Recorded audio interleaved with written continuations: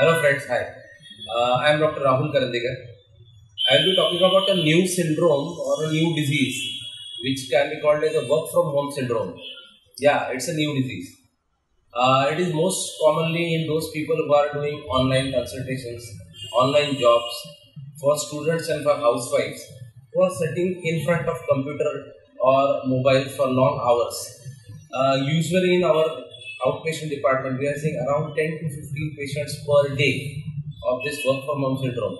The maximum amount, the maximum symptoms are neck pain, back pain, shoulder pain, and uh, they are not able to concentrate. So the best, uh, the best treatment is to avoid constant strain over the computers. Take fre- frequent breaks. Do some neck exercises, some back exercises, and do some meditation.